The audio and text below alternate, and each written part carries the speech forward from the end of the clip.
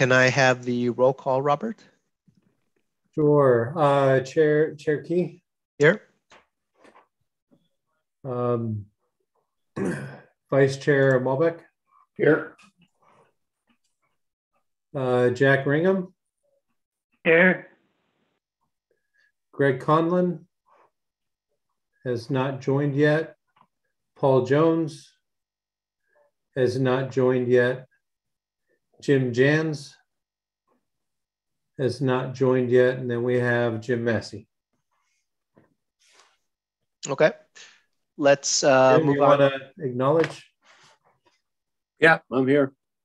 Okay, and it looks like we have Paul joining in now. Okay, great. All right. Is our new council member liaison uh, Bob Polito? Uh, That is correct. I thought it was Diane.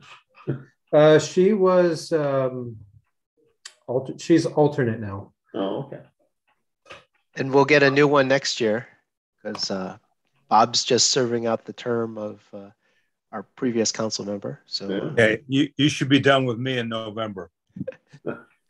Okay, so I just want to confirm, does everybody have the agenda on their screen? yeah, I can see Yeah. your screen. Yes. Great. Uh, looks like we have Jim Jans joining now as well. Okay. Um, why don't we move on to public comments? Uh, are there any public comments? I don't see any members of the public on the line, Okay. and I did not receive any public comments in advance of the meeting. Okay. Uh, so let's move on to item three, uh, approval of minutes. Are there any, uh, uh, excuse me? I was going to say, so recommend approval. Oh, okay. well, first, I'd like to, uh, um, we have a motion to approve, but I'd like to ask if there's anyone that has amendments or uh, changes that they'd like to see in the uh, February 1st minutes. No, I thought they looked good. Okay. Seeing none, do I have a second for the motion to approve? I'll second. Okay, Paul has seconded. Uh, all in favor? Aye. Aye. Any noes or abstentions? None noted. Okay, let's move on. Uh, no presentations. And then so we'll move on to the uh, regular agenda. So the first item is the uh, draft 2022 High Speed Rail Authority Business Plan. Uh, Robert, can you introduce the item? Uh, sure. Um, thank you, uh, Chair, members of the committee. Um, as noted in our previous meeting, High Speed Rail has issued its uh, business plan, draft business plan for 2021. Uh, it's released currently for public comment. Public comment is due on April 11th. And uh, I'm going to thank uh, the members of the committee that have provided uh, comments to staff.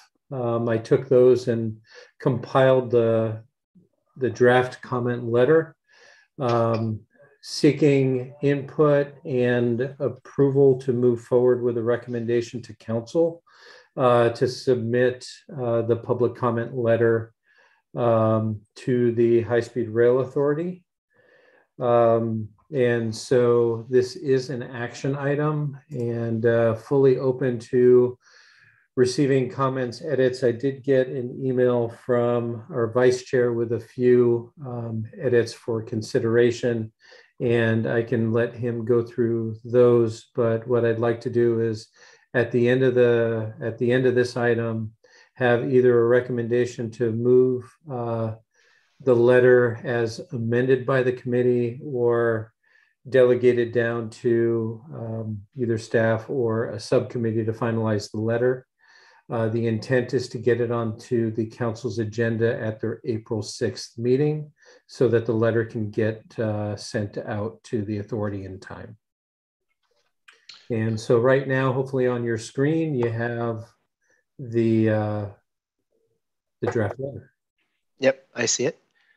Um, perhaps we uh, we should go through John's edits first, or uh, did you just want to describe them broadly and then if, if they're kind of Um, small? sure, I can do that. So the first comment, I mean, is really related to um, uh, spelling out uh, Transbay Terminal the first time that we use the um, TBT abbreviation. Um, he had a comment with regards to the asterisks that I had put into the letter on uh, the timelines. And uh, I can either note it as estimated. I, I pulled the, these numbers from uh, partially from one of the comments that, that I got from one of the rail committee members, but I couldn't find all of the the times and distances. And so the ones with the asterisks, uh, asterisks are, um, I'm going to say estimated. Or Paul might have something to say about that. Uh, Paul? Yes, I was going to suggest 125 miles for the Fresno to Bakersfield. Uh, it's there. Oh, okay. oh yeah, so it is. Beg Uh, your pardon. but Since I couldn't find it in the actual document, that's why it has the asterisks on it.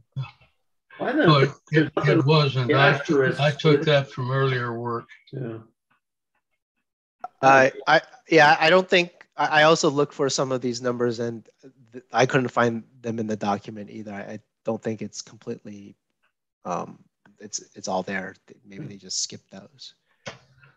What, one thing I did note was, um, I think the Bakersfield to Palmdale is 79 miles, not uh, 70. Okay, is that, is that in there? Is that? I thought I- Yeah, it's on, uh, let me tell you the page number. Hold on, I gotta find my browser. Okay. There we go. It's on It Makes page it even worse. 42. They have that big graphic on page 42. Um, Okay. All right, so I can correct that to 79. I'll put, uh, underneath, I'll put an asterisk and just say estimated. okay. Yeah, I think if you just say what the asterisks mean, that's fine. There's nothing wrong with the asterisks. It's just that I couldn't find what they meant. Yeah.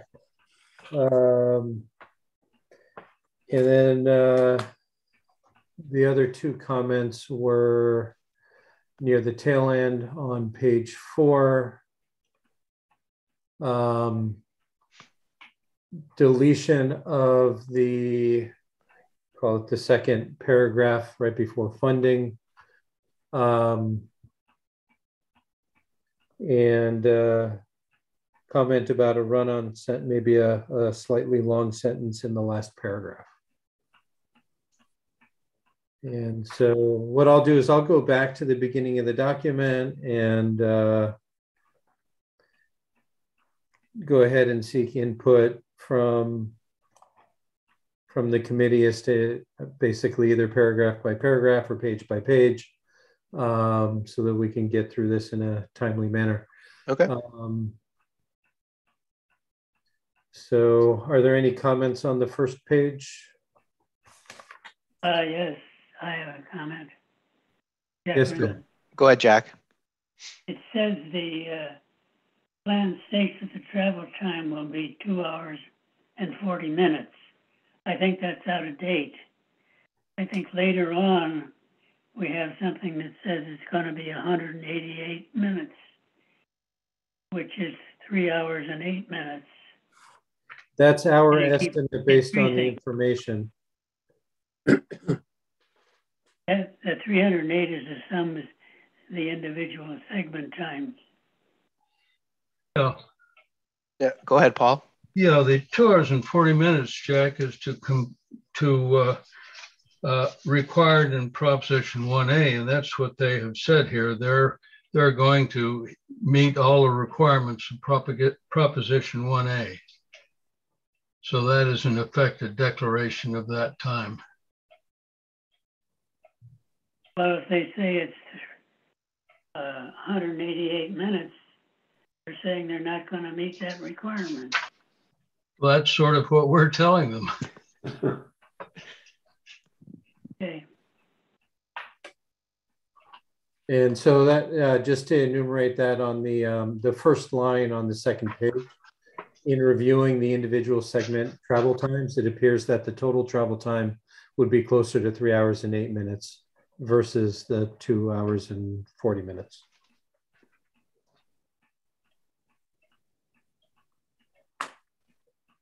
Okay. Okay. Um, so are there, a- were there any other comments on that first page before we move on to the second page?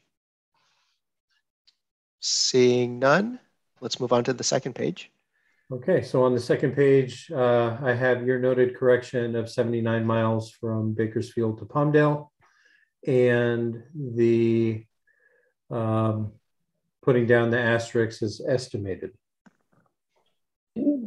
If you change the distance to 79 miles, then you're going to have to recalculate the required average speed down there in paragraph numbered two. Average. Where you say 23 minutes would require an average speed of 206. I assume that was calculated on 70. Uh, But now you're calling it 79, so that must go up to, Okay, I think, Paul, I think that calculation was from you, if I'm Yeah. not. Okay, well, if it's uh, 79 miles in uh, tw- uh, 23 minutes.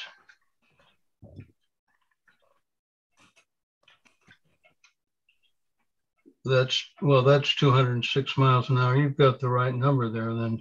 Okay, so we'll just correct it to 79, and so Yeah. it'll be okay. it's okay. It it was the 70 that was wrong, not the It was the 70 was wrong, not the 70. Yeah. Okay. Okay, and then I think the other comment on this page was capitalization on the Census Bureau.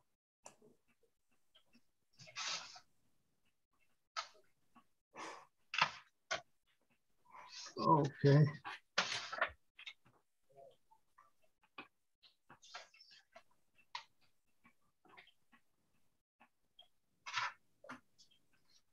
Any comments on this page? If none, I guess we can move to page three.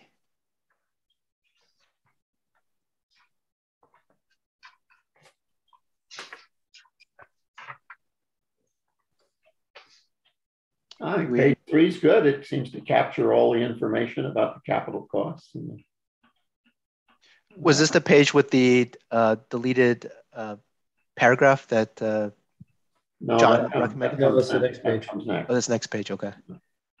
Just wanted to know what, what it was that we're, we're taking out, that's all.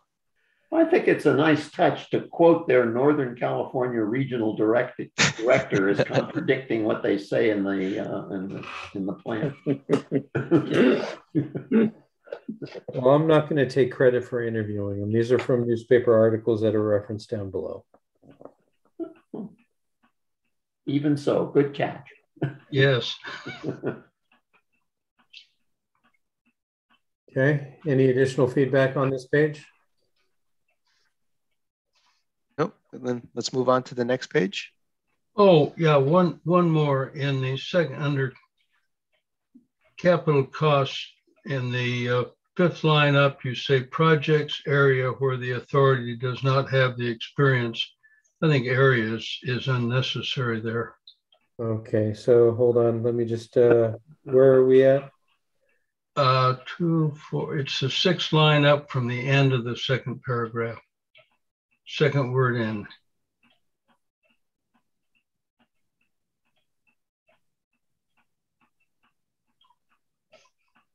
I'm not. Uh, So. From the bottom of the page, sixth line up, or? No, he said the second. It's the, uh, Second paragraph. no, it's, it's the first paragraph. Oh, first paragraph, okay. paragraph. Yeah, So first paragraph, wait a minute. Projects area, it, Uh, It's in the, it's in the. Maybe paragraph that's- labeled Capital costs, and it's about eight or nine lines down from the start.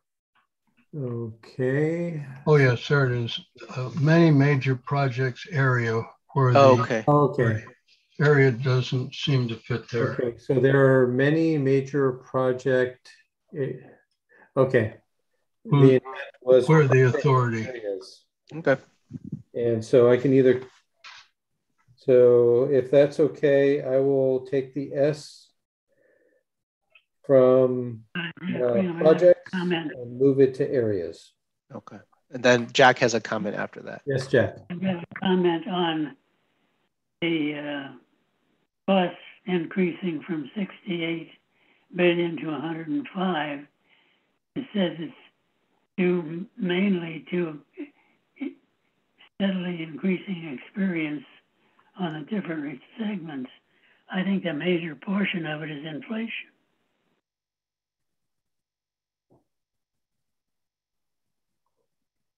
I don't know if we're expressing these in current year dollars or what year dollars, but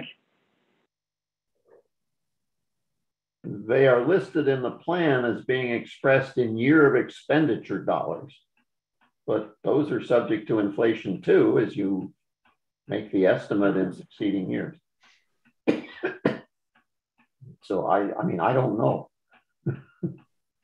Know, I'm I'm gonna say that as they have gone through their project, costs have increased on a number of things and mean and the intent of the statement is that for lack of a better way to put it, they're learning as they go. And they are steadily increasing the costs based on what they are learning. And so I think that they've even indicated that they have changed their management and oversight structure, uh, particularly related to right of way and other things based on their experience. And that has that has, as they did that in terms of trying to get a handle on it, the costs did go up uh, substan- substantially. And I think that even given the quote down below as they um, as you go through the discussion of the tunnel, um, you know, the the cost of that went up by 40%. And so as they're going along, they're gaining experience, but the costs are going up. Um, I don't think we want to defend why the costs are going up. I think it's more just enumerating the fact that they estimated a 69, $68 billion project back in 2012, and now it's already 105 billion. And I think we all expect that in 2026, a couple business plans from now, it's going to be substantially higher. Yeah, I think that's fair. Okay. Uh, any other comments on this page? Okay, seeing none, why don't we move on to page four? Okay, and so this, oops, slid up a little too far. Um, and so the recommendation was to delete the statement about it's our belief that as with all large capital projects, the cost will continue to grow. Um, oops, I just had Greg's in the waiting room. Uh, I apologize. Let me let Greg in. Okay. As we were talking, I I missed the fact that he was uh, joining. So, Greg, I apologize.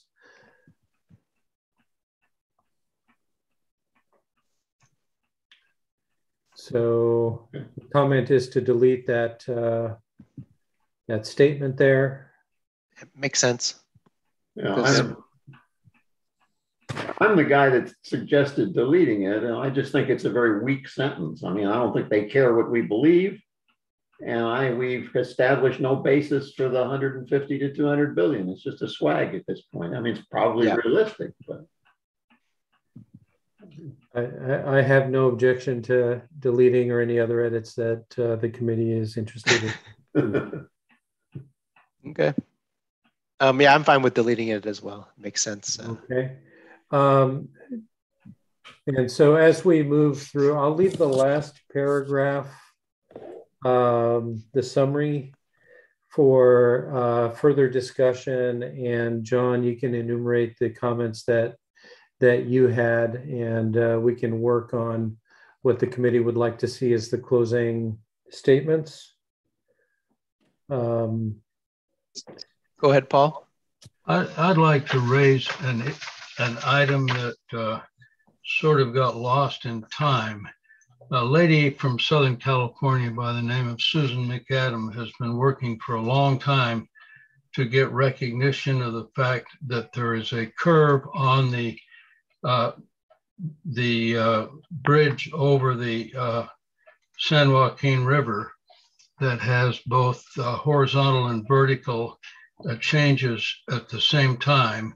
And she is determined that that is a danger to derailing trains going over it. And she has recently had an, a finding from the California Public Utilities Commission that that is in fact a danger. Uh, do we or do we not want to put that in our letter? Is this this the same gal that addressed us maybe three or four years ago, Paul? Yeah, that's the one. Yeah. She does not give up. Persuasive. Yeah, Well, it's it's not directly discussed about in the business plan, but um, it is an area of concern. So I'm not sure if it's because this is a comment letter on the business plan itself rather than specific problems uh, in parts of the project itself. well, that certainly is valid. I mean, we could. I mean, Robert, what other types of um, uh, ways our committee could get feedback to uh, the high-speed rail com- uh, high-speed rail group in terms of this type of concern? Is it Um, I think that there are a number of ways, number of ways to do it. The concern that I would would have is that segment is not really part of something that affects the town specifically. Um, but I do understand and appreciate that if it is a safety issue, it should be brought to light, which I'm sure um, uh, Ms. McAdams is doing. But there is uh, there are other avenues. One would be we typically invite high speed rail to come and talk to us at least once a year. We can invite them, and it can be brought up in that avenue. Um, committee members, as individuals, are more than welcome to send uh, letters and other comments to the High Speed Rail Committee uh, or make public comment at their um, at their meetings. Um, we can table this as a discussion item for the committee at a future date if you'd like to talk further about how that can be done or offline um, as long as it's not a quorum.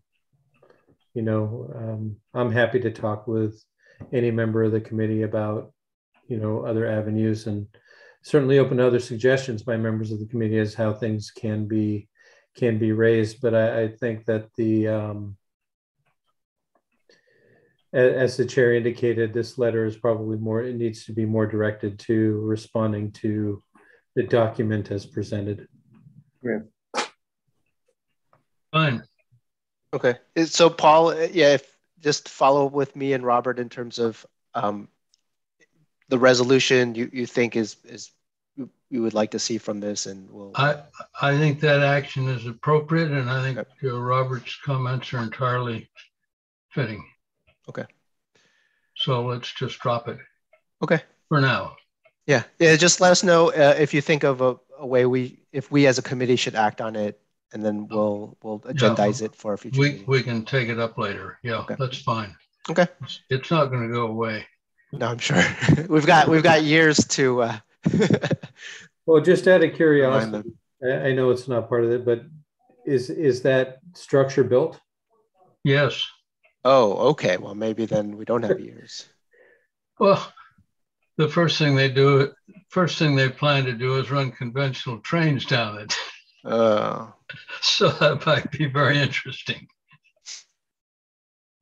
okay, so um, Okay. yeah, let's uh, stay on the uh, letter. Is there anything else in the last page? Well, I- I- I- again, I want to leave that last paragraph, so if there's nothing preceding that last paragraph.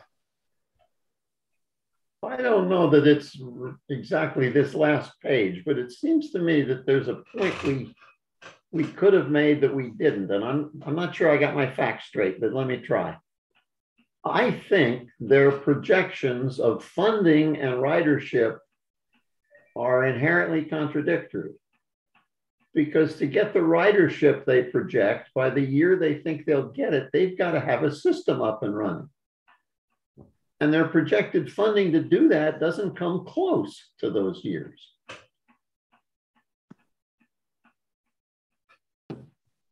Uh, it seems to me they can't have it both ways.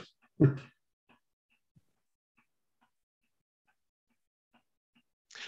you have any way to demonstrate that mathematically or just to point out that contradiction or?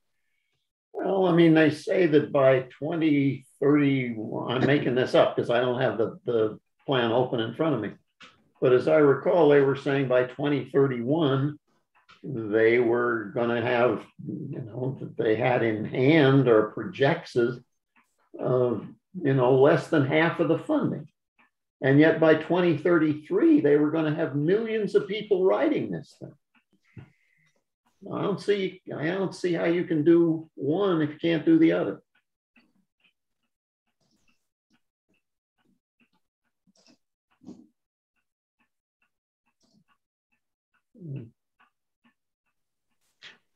On the other hand, you know, I don't know, maybe it takes too long to, to put that all up and, and whether they pay any attention to it or not, I don't know, but uh, just- Well, I think, even if we'll- I, if it were a thesis exam, I would challenge them on that.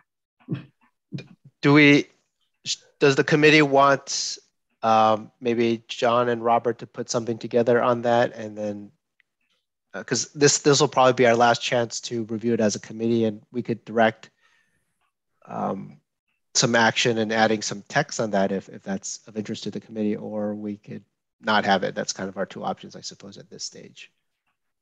I, I think that's a good idea to have uh, John and Robert make some changes there to suit them.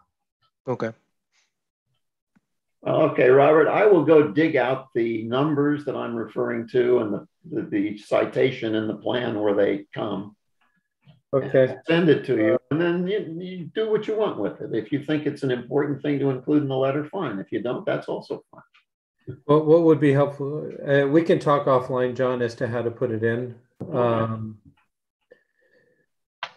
and so I, I will note that I did have this one statement here about their current funding projections being uh, about $25 billion through 2030, which is less, I think, leading into what you were saying, John, less than 25% of what their, well, that's the overall capital cost, not the usable segment cost.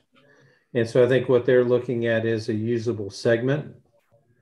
And I'm not quite sure whether or not the 25 million, 25 billion is sufficient to get them to that first usable segment. But um, happy to talk with you offline and Okay, well, maybe, maybe I misunderstood their to add is ridership projections. I thought those ridership projections were talking about the full project. Uh, they got there. Their first riders are um, within the valley. Okay, well, I'll go back and look, and if I think it's still worth talking about, I'll, we can get together. If it's not, if I've just sort of misread their ridership projections, then fine, we're done. Okay. Um, so, John, why don't you go ahead and discuss the last paragraph and your suggestion on kind of cleaning it up a little bit? Well, okay, it was really just the last sentence of the last paragraph, the one that starts four lines down saying, we urge the development of a full funding and implementation plan. And I, that's fine, but it, it goes on for four more lines. And it seems to me it's kind of a rambly sentence. And I think a concluding sentence of a letter like this ought to have some punch to it. And so I'm not suggesting any change in the content particularly. I guess what I was suggesting was let's let's take what we got. We re-urge we urge the development of a full funding and implementation plan that is more realistic. Period. Period. I totally agree with that, John. That's a that's a de- declarative end of the thing and sums up our point. Oh, okay. Well, I was I was going to maybe we maybe that's a good point, Jim. That we should just end it there. The rest of it we don't need, as you said. It's a long, rambling sentence and stuff. Let's just def- end with something that's definitive. We don't want this. Period. And the Or break it down in separate, separate sentences to shorten up the sentences. Leave the last last uh, half out. Just stop at realistic. Period. I'm fine with that. Yeah. Okay. Who, who wrote it? Me? Don't you want to defend it? No.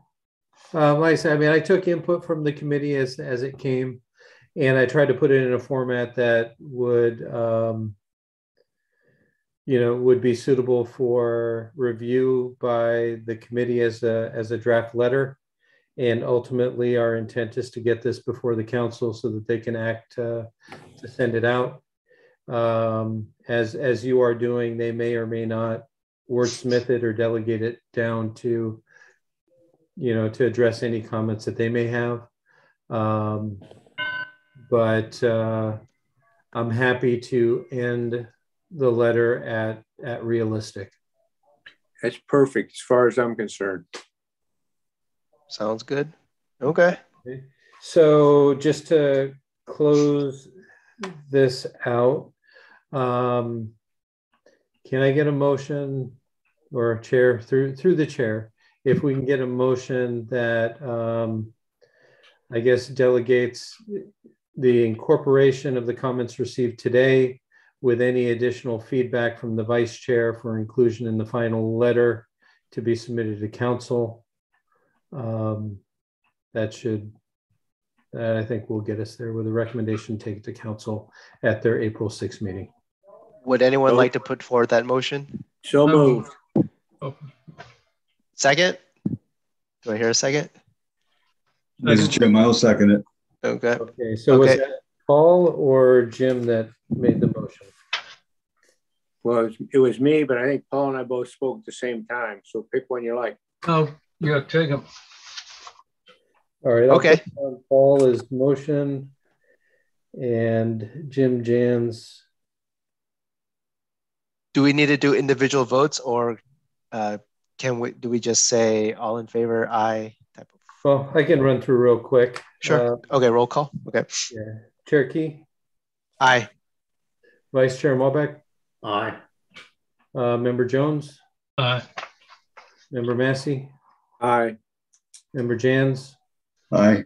Member Conlon. Abstain. I didn't hear, participate on the changes. Okay, Member Ringham, Reluctantly, aye. I think the whole thing is a joke. The I- I whole don't- idea. It's I think based you- on the premise that this is going to happen. I think everything that we've read and heard and see in comparisons to other lines around the world, the chances of this being a success or even being completed are very remote. And I think somebody, instead of acting as though we're going along with the fact that they're doing this, should raise some questions about its feasibility. And I'll remind you of the mission statement of the High Speed Rail Authority. It says, initiate construction of high-speed rail system capable of sustained speeds of 200 miles per hour or greater. There's nothing in their mission that asks them to ask them ask them to give the evaluate the feasibility of anything. This first compromise they made was just saying, okay, we'll make it just in the Central Valley. Okay. Thank you, Jack. Um, so let's move on to our next item. okay, so I'll share So- the screen again. the 5B, is it 5B, the station uh, remodel update? That's correct. Um, Yeah. So thank you, Chair. Um, last night at uh, the City Council meeting, um, the City Council authorized um, staff, uh, authorized City Manager to enter in, into an agreement with uh, Garavaglia Architecture Inc. for the design of the rail station remodel. Uh, so with that, we will um, be working to get that agreement in place and get started on on the design. There is a subcommittee that has been assigned to assist staff in um, managing the project and, and in meeting the council's goals with regards to the to the station building. And so um, with that, um, available to answer any questions. I, I'd like to make a comment. I had heard uh, that there's a possibility of putting the history room in the new remodeled station. And I would absolutely caution against that. I think it would be vandalized and destroyed over a short period of time. And I believe the history room, if put together, belongs in the, uh, the Civic Center and not in the train station. I hope I was just hearing a rumor, but I would strongly advise against that. Yeah, uh, the Heritage Room is located in the Historic Council Chambers. And Good. so that's where the majority of that's going to be Thank located. you. Thank you, Robert. Uh, how, how long is the design going to take? Uh, the goal would be to be able to get it out for construction next construction season. So next uh, spring, summer be out. Okay. Robert, I, A question. I was listening to part of the council meeting last night. And then I had to drop off for something, but there was some discussion going on about whether this current contract was going to result in construction drawings that could be put out for bid or whether it was going to be sort of a conceptual design that would then require a more detailed design for construction. Did that get resolved? Yeah, this contract is for full design, full design documents to go out to bid. Okay, It good. includes getting the necessary build, you know, submitting, getting the building permits uh, for the work as well. Okay, all right. That's that's much better. Is it the intent of this design to design what could be a functioning station? Or is it to design a museum piece? The intent of the design Sure. is to integrate the building to the town center um, and potentially use it as a, a rail history museum or a museum of rail history in the town of Atherton, um, accounting for potential audio visual displays and other displays within the area. And the primary things are going to be number one, uh, taking care of a lot of the deferred maintenance of the structure um, and, and doing those kinds of repairs, reorienting the opening so that rather than being closed to the town center um, and open now to what is the, uh, the fenced off rail corridor, is to reorient the opening towards the town center so that it is more, um, more cohesive um, and uh, and sealing off the back, rehabilitating the um, again the structure, and outfitting it for um, for displays. Uh, some minor landscaping right around the structure where we have the kiosk sign and um, some of the uh, smaller planter beds uh, that were not done as part of the town center project. The item that was a potential additional item that the council elected not to include at this time is additional landscape screening. Um, I'll call it uh, towards Watkins Avenue um, along um, the rail corridor. So uh, that screening is something that is potentially left to a future date. This All is Jim you- again. I want to go back on the history thing. You just Yeah. mentioned History Rail Museum, and earlier we had you said with history was going to be in the Heritage Room. I I believe we should not put any his, history historical things in this thing because I would fear it would be vandalized and destroyed. So which is it? So the town history stuff associated with uh, the Heritage Group is going to be in the Heritage Room at the old town center at the Okay. old building. Uh, the council has uh, has a desire to have a public space that showcases rail, and there is the potential for that to be incorporated into this building, but that's at the direction of the council. Well, once again, I would urge against putting anything of any value in there historically, given the current situation with smash and grab, et cetera, et cetera. So Uh, That's all I gotta say on that. I'll drop the issue. Paul, you had a comment or question? No, I just questioned, could we know who's on the subcommittee working with the architect? Rick and Uh, Diane, Paul. Rick and Diane? Okay, thank you. Uh, Robert, has anybody ever considered including in the Caltrain station that clock that's out there that uh, Bob, whatever his name was, put up several years ago, decades ago? Well, now that we have ownership of the site, we are, um, I think, if I'm not mistaken, there's been some conversations with, uh, with Sandy about, uh, potentially taking over that, that maintenance. I think that there's, uh, either an annual maintenance or other check that needs to happen. I haven't looked at the clockworks myself yet, and I think we'll be doing that You know. I had a brief conversation with Sandy about it not too long ago, and I'm having dinner with him tonight, so maybe I'll bug him about it again, because I think the clock works fine on one half and not on the other half. Yeah, we might need to maintain it. And I'm going to say that I, it, it may be that there's a particular clocksmith that might need to come out and take a look at it, but I'm not quite sure. Yeah, okay, I'll, uh, I asked the, the clock guy that's got a, a shop down by the post office in Menlo Park, and he said he was too old to climb ladders, so that didn't go very far. Okay. Is that Sandy Critton that you guys are talking about? Yeah. Yeah. Okay. Okay.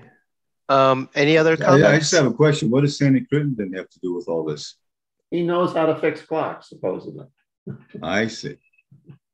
Okay. I don't know, as I say, I'm supposed to have a St. Patrick's Day dinner with a bunch of people, including Sandy tonight, and I will see where he stands on it. Any other comments or questions on this item before we move on?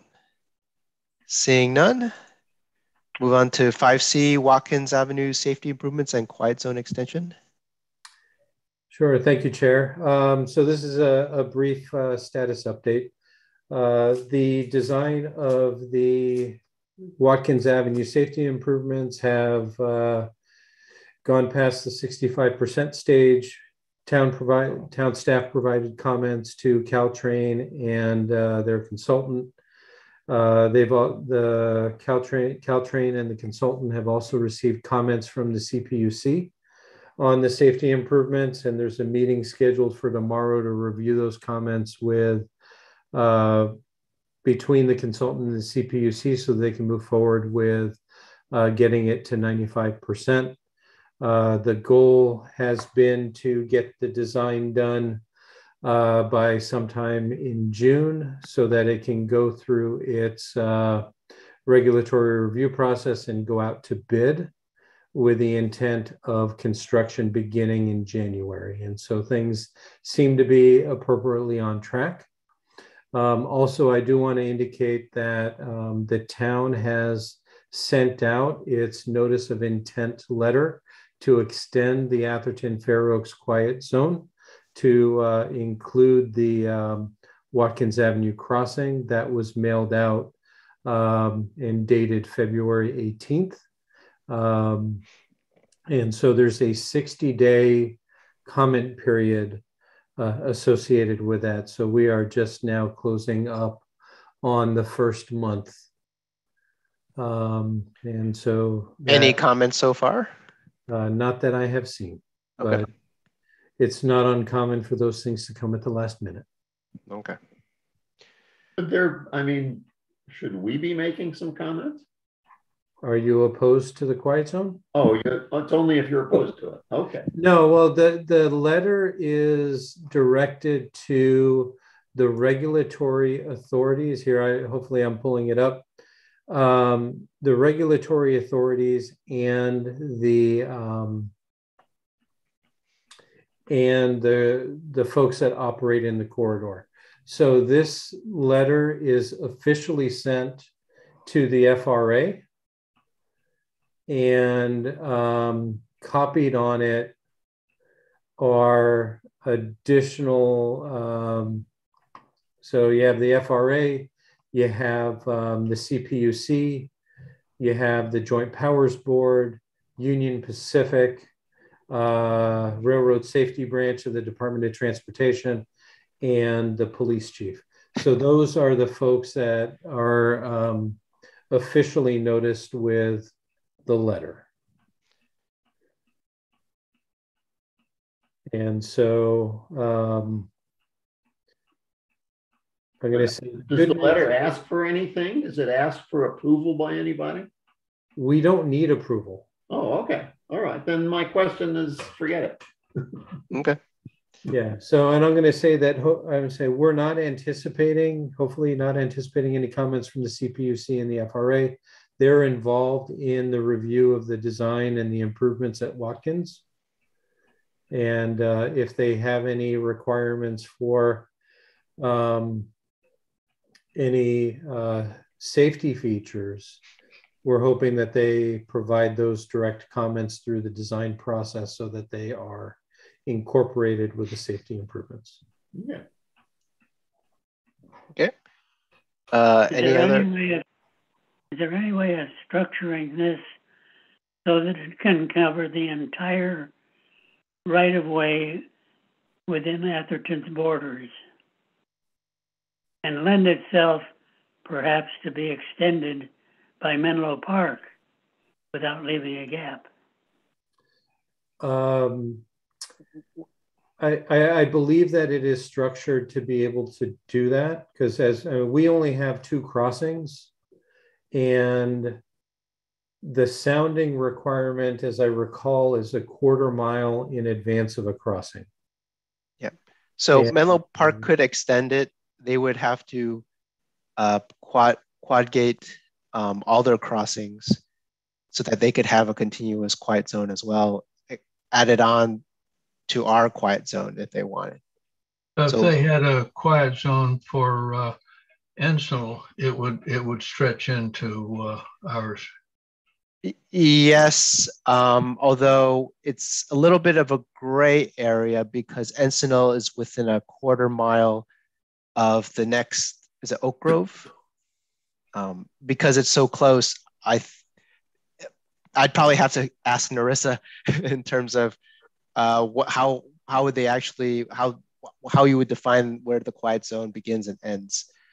Uh, because each of the Menlo Park uh, rail crossings are so close to each other, I think they actually have to be all um, all quad gated for them to be a continuous quiet zone. Oh, I'm, I'm sure that's true. Yeah, I would- I think so, yeah. Um, Jim, did you have a question, Jim Jans? I, th- I thought you saw you. Yeah, a related issue. I was just curious, uh, Bob, uh, have you received, uh, well, I have noticed that there has been, have been more soundings of the horn uh, of late in the last few days, week or so, uh, particularly early in the morning. I'm just curious whether you've heard any complaints from anybody or if anyone else has noticed this. John, perhaps you have. There's a couple of trains that come usually northbound at around six o'clock in the morning that have been blowing their horns ever since the quiet zone started. I mean, Oh. A couple of rogue engineers that don't like us, or I don't know what they don't like, but Yeah, one- one of the things that I'm not quite clear on, I'm going to say that we have to keep in mind that there are workers that are working within the rail corridor. And I don't know what hours that they're out there, but they, um, they are sounding their horns and are going to continue sounding their horns when there's any potential um, risk on the corridor. I think uh, we can talk in the next topic about the recent things that happened with Caltrain. Okay, Yes. that's fair. There are people out there. Um, any other questions or comments on this item? If not, let's move. Oh, I go just ahead. want to answer, Jack. answer Jim. John's, uh, it, it was Bob, going back to the last time, it was Bob Simons. Yeah, yeah, that's, that's the. Yeah, that, that's right. It was uh, Bob that Simons. They built that clock, yes. Yeah. Okay, let's move on to the next item. And that's uh, the 5D Caltrain update. Yeah, so I'll keep this brief. Um, so it, uh, Caltrain has approved their governance reform plan. Um, I think we're all noticed on that, and I think there's been an agreement on uh, the money and where it's coming from to reimburse Samtrans, and I believe that also includes the um, interest. whether you call it interest or other value add based on the, the right of way. Uh, so they are going to be continuing to work on any sort of formal agreements and get that set out. Uh, Caltrain is seeking additional funding to cover the, the cost gaps on their uh, most recent global settlement with Balfour Beatty um, to help them close that and finish off um, finish off the project.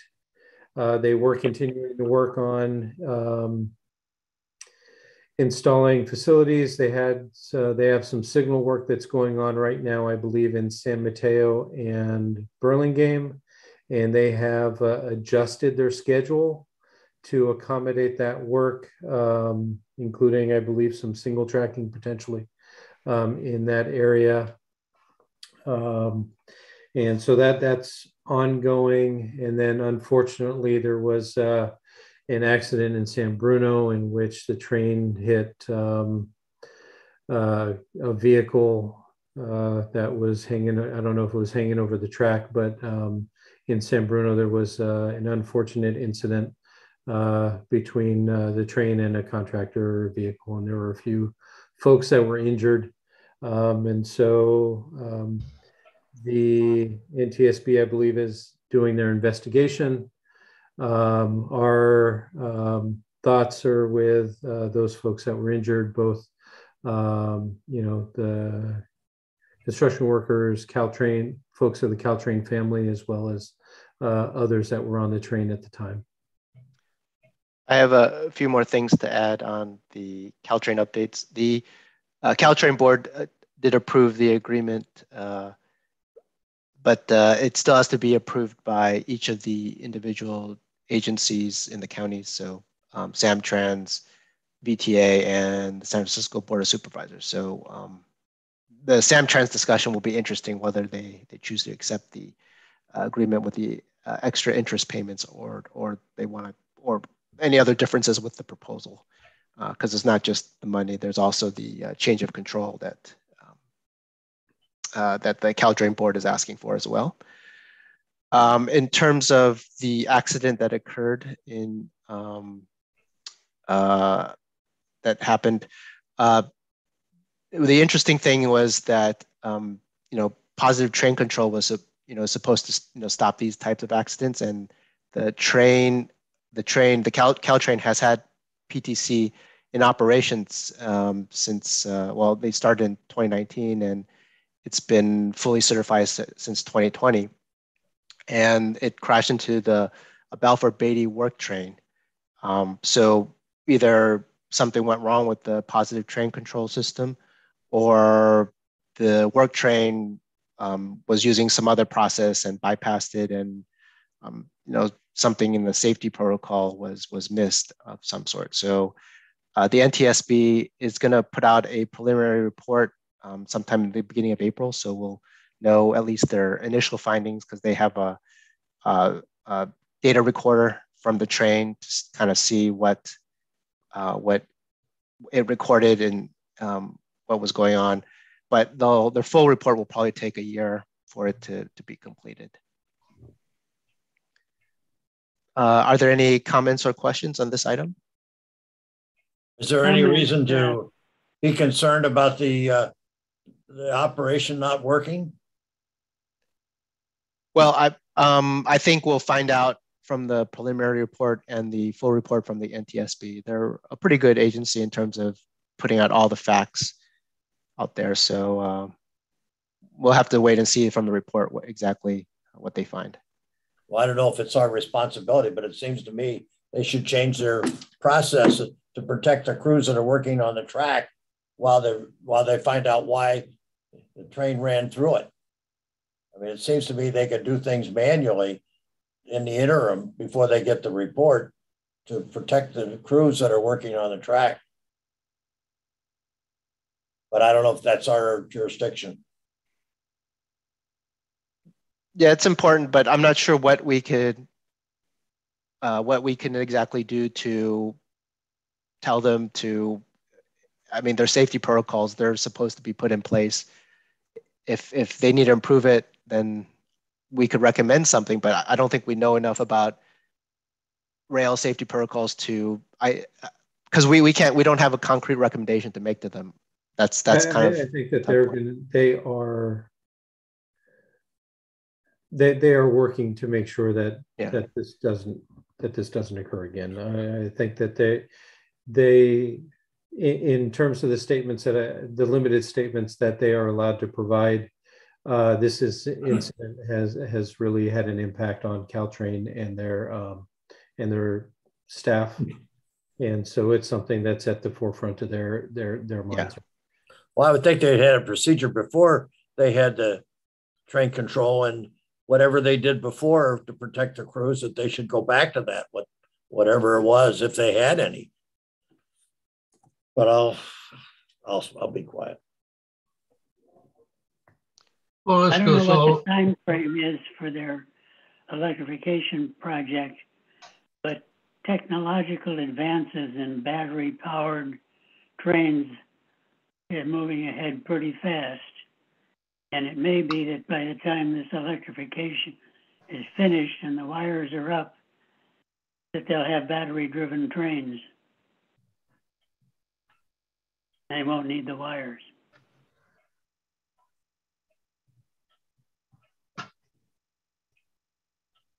Are there any other comments or questions? well, Go ahead, Yeah. Paul. this positive train control has gone way back to the CBOSS system that they tried to develop themselves. And the, the whole thing has been shrouded in a, a lot of uh, misconception and uh, poorly stated positions and some bad analysis. I think it's most unfortunate this happened, but I don't see that it could be a surprise based on the history of the of the work.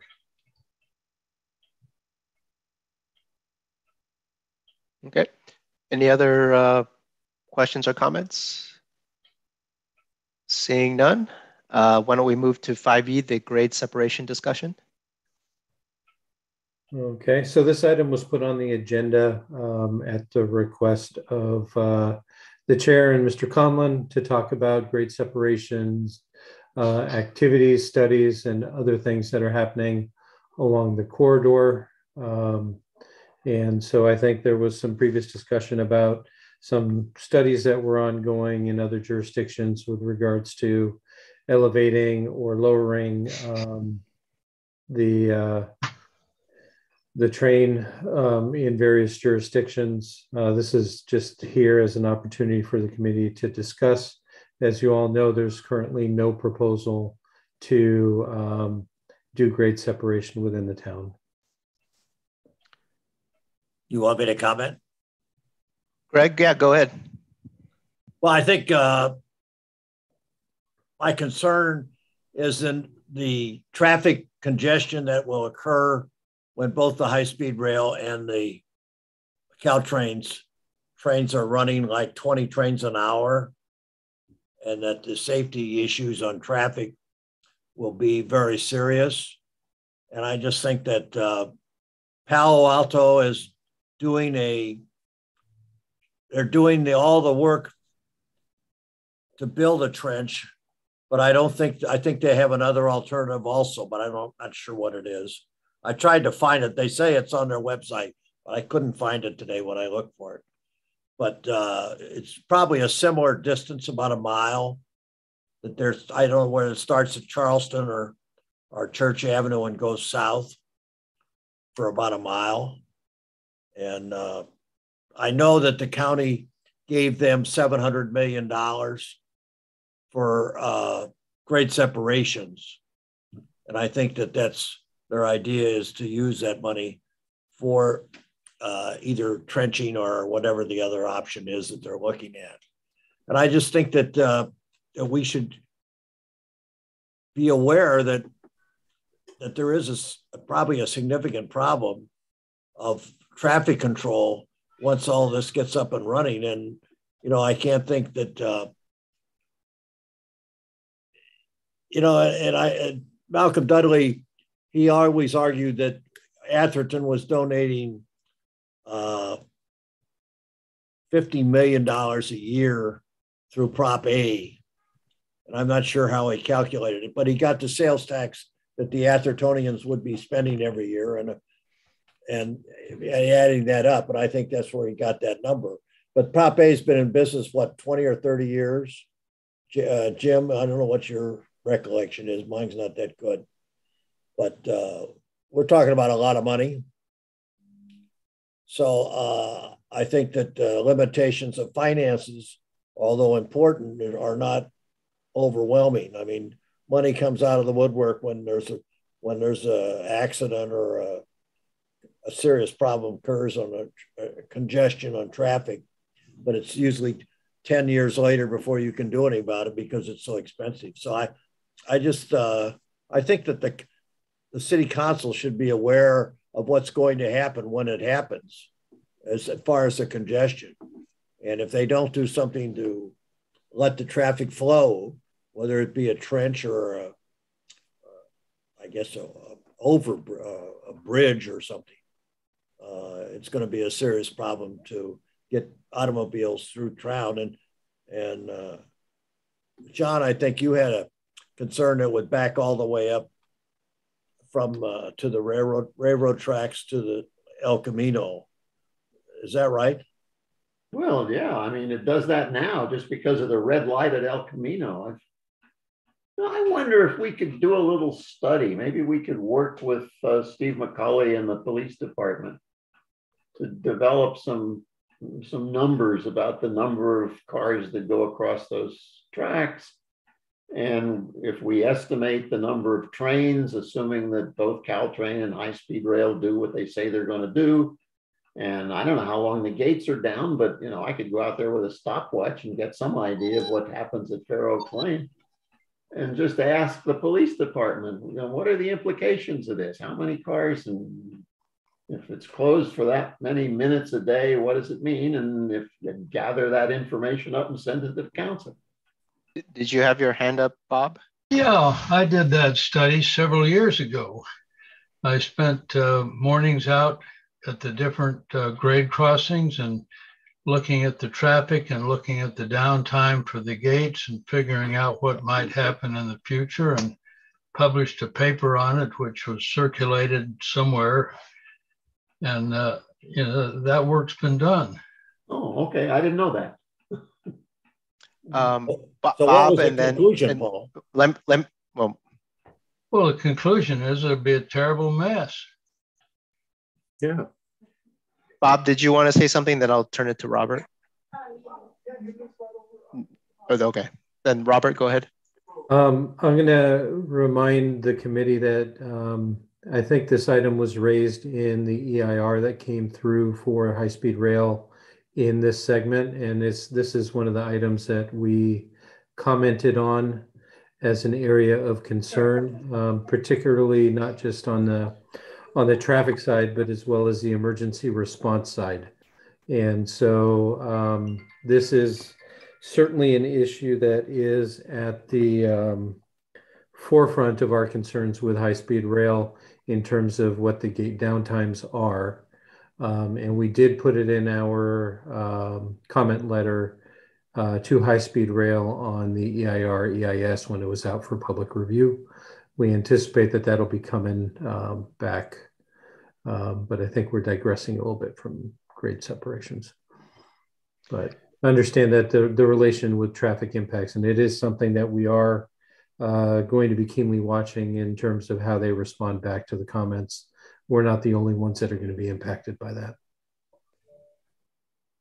Well, I think that we it'll be beneficial to know what what uh, Palo Alto's doing and how long it is and how much it's costing, so you get a order of magnitude of what the cost would be. Because I think it's very comparable based on a brief conversation that Alex and I had with Pat Burt. Do you remember Alex what he said as far as the distance?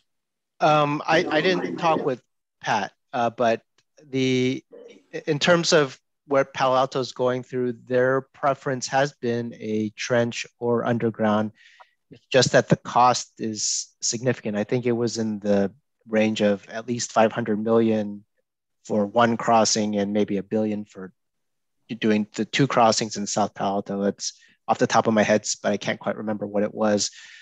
And while Palo Alto hasn't completely removed it yet, I don't believe as a possibility. It's not going I don't think it's going to happen. It's just too much money. Um, and basically, you know, they're going to be told, if you want to have the trench, you guys got to pay for it. You know, the, the Fed, state, and uh, uh, county are only going to give you so much. They'll give you enough to do the grade separation, which would be raising the raising the uh, the the rail or and or lowering the uh, road uh, but they're not going to give you everything to do a trench because it's um, it's just simply too much. I, that's just my reading of what's going to happen politically. well, I was at the Palo Alto meeting when they discussed with the county what they were going to do, and if they didn't give them the seven hundred million, they were going to vote no the next time that tax came around. So I think that they're serious about getting, and I think they got seven hundred million dollars. That's it's, not a drop in the bucket it's actually it'll be probably one third of that 700 million because it's uh, it's 700 or 800 million for all the rail projects in the county and there's three cities in there uh, mountain view sunnyvale and palo alto that have caltrain uh, and, and, i think the agreement was we want this rail money be, or we're not going to vote for the uh, for the sales tax when it came around right right and it's it's money over 30 years. So um, so the next time it's going to come around is maybe 28, 27 years from now. Um, so no, it's, but it's they got be, the money on the last. The last one is just recent. Yeah, this was that was the most recent one where they they got the money, and so the money is not coming in all at once because it's a 30 year sales tax. So they're going to get paid over time, and it's kind of at what point Santa Clara will front the money to uh, each rail project as it decides to grade separate. But uh, there's not going to be enough money, you know, 200 million, that's not enough to do a, a trench for any of those Palo Alto uh, underground. So, and plus, where's the rest of the money going to come from too? Uh, Palo Alto certainly can't afford for um, the to uh, foot the rest of the bill. So that that's that's going to be. I think they're going to have a choice where they're going to have to choose to do some kind of uh, you know lower the road raise the uh, rail type of choice. And, and that that's the most cost effective one if they want to actually do the grade separation. Otherwise they're going to be waiting forever for getting the money to tunnel. And that's also the risk that atherton might have is that you know the city council can go and say we want to do this no one's going to want to spend that much in atherton uh, to pay for all of it um, the state well, is not going to. Robert, do you have access to their their data? Because they've spent a lot of time and money on doing the engineering. Whose data? I just wonder if we could get some ballpark. I think he means numbers. Palo Alto. Um, I can try and look for it. Yeah, because I tried to find it, I couldn't find it. Pat said it was there. And I think they've they're they're hiring the, the second engineering firm because they weren't happy with the cost estimates of the first one. So they're very serious about it. The costs only go up. Well, I know, but they just felt that, that, that bad enough that they're going to replace the engineer. So we'll see. I'm I'm not sure if changing the engineer is going to change the realistic cost of of construction. That's right. well, we'll see. Okay. Hired, they've hired a new engineer. and I'll send out a link to it.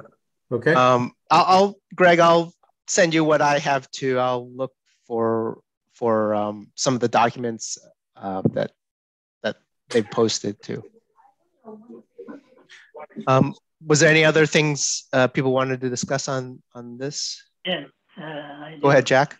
One thing that we ought to recognize is that if Fair Oaks Lane is grade separated, it'll attract local traffic from Fifth Avenue through Atherton.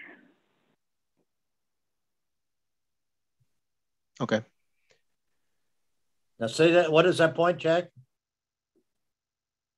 People, uh, Jack was saying. Grade separated, it'll attract some of the traffic that's now using Fifth Avenue to get across the tracks, and they'll come through Atherton on local streets, like Fair Oaks Lane and Watkins. I think he's trying to say people will avoid the congestion on Fifth Avenue and come through Fair Oaks instead. Well, Fifth Avenue is grade separated now. Yes. I th- I think to avoid congestion, they're they're going to choose other roads that oh. that are grade separated. I go down that apparently occasionally, and there doesn't seem to be much of a traffic problem. Oh, I go down because I'm not that far away from it, Paul, and there is traffic. There's a lot oh, of traffic. Okay, I I it, withdraw my comment. It is a problem. I avoid it as much as I can. Yeah, they turn off of El Camino to Jack in the Box and head right down. You're exactly right, Jim. And it's, it gets to be a mess down there. And then you have the light at Middlefield, which even makes it worse. I avoid it too.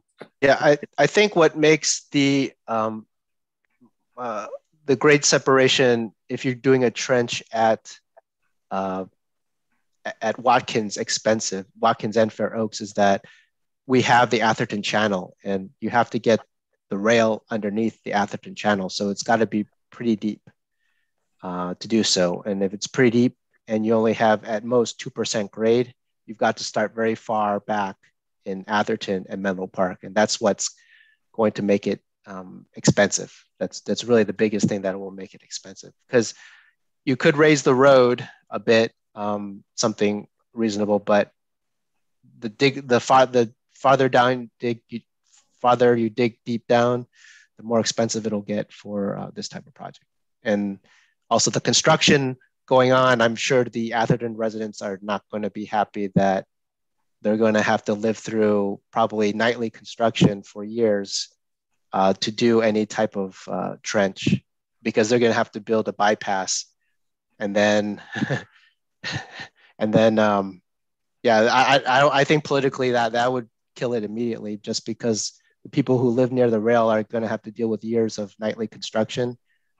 No matter what it no matter even if it was cheap it would have trouble politically to get past the council on just on that basis. Um, oh, any other comments on this? Okay why don't we move on to the next item? So thank you chair. The next item is related to litigation. Um, I think as uh, was indicated in the previous, um, the appeal has been submitted to the uh, state Supreme Court for uh, consideration. Um, last I checked, I think that they provided an extension, uh, Jim. Let me give you the update. The update is as of today, just a few hours ago. It's not good news. Um, we were alerted that they extended the time period uh, for the appeal and comments. They submitted additional comments from uh, from the other side, from from the rail authority, uh, and from us, uh, uh, from our attorney, and we did that. Gave us a lot of hope that they were going to take it under consideration. I'm reading from the email this morning. Very succinct. Petition for review denied. California Supreme Court. Uh, Stu Flashman's comment was FYI, oh well, nothing ventured, nothing gained. That's it. That's it. That, that lawsuit is over. I mean, I suppose, you know, I'll, I'll ask, we'll, we'll, ask Stu uh, if he can reapply and come look at it again. And, and maybe he can, maybe he can't, but I don't hold out any hope for it. Yeah, sounds good. It's dead. Okay. Um, any questions or comments on this item? Well, it's been a good fight, but uh, Yeah. It didn't work. Yeah. Yeah, And Stu has been very good at keeping this thing up and moving, but you can only do so much. I think we owe him a vote of thanks for all the effort he's put into it. We ought to take him out for a really nice dinner. well, he's been paid for some of this, you realize, not a whole lot. Maybe not such a He'd be paid a lot more if we'd had any success. Um, Well, and Mike Brady's done it for free. Right. Well, and, and Stu gave us the pro bono rate. So, uh, Community Coalition on High Speed Rail funded the appeal, um, which was a bunch, it was three thousand dollars. Um, but that's where we are. Um, i- i- it's, I'll, I'll tell you here, here- here's the big risk. Our, the point of the lawsuit uh, at least it- by the time it got to the to the, the specific appeal to the Supreme Court, was that look, you can't pull a bait and switch on a bond measure. You can't say you're going to do A and do eh, B or B plus or something like that. You've, you've got to do what you said you're going to do. Their reaction, at least from their filed papers was sort of like, hey, this is a real big project. So you don't have to be as specific on a huge project as you do if you were just building, let's say, one grade separation or something like that. And um, the Supreme Court apparently bought that argument. The problem is, and it may not happen, but I see the problem is, and we were we were hoping we could get some somebody from the bond industry to, to weigh in and, and encourage the Supreme Court to take the case. But but the, the potential problem is that a bond issue comes along in the future and people realize so well hey I can vote for this but they may actually not do it. They may just take this money and do something similar with it but not what I voted for.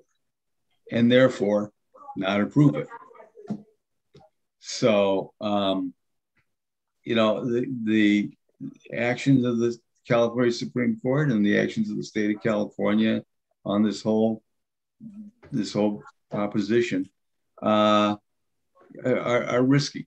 And you know, it's, it's not without risk for the state, and we'll have to see what happens. Okay. Why don't we move on to the next item? Thank you, Jim.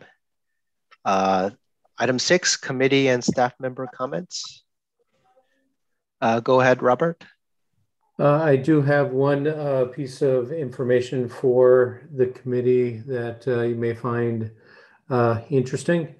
Uh, last night at the council meeting, as the council was uh, approving the continuing resolution with regards to emergency, there was conversation about um, transitioning to hybrid meetings. And so I believe at the next council meeting, the council will actually be meeting in the council chambers um, and it will be done in a hybrid fashion. The council chambers is uh, nearing completion, and um, our city clerk has been trained on uh, the audio and video capabilities of the system.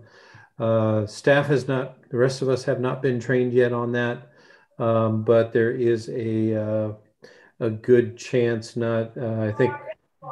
Future item nine will decide whether or not we meet in April, but um, aside from that, uh, the following meeting uh, will likely be, we will be able to uh, have a hybrid meeting in the council chambers. That'd be great. So you're telling me if we have our meeting in April, we could be the first group to have Oh. a meeting in the council chambers. The council meets following that. So the council is always first. So we're not allowed on the day before, but they're okay.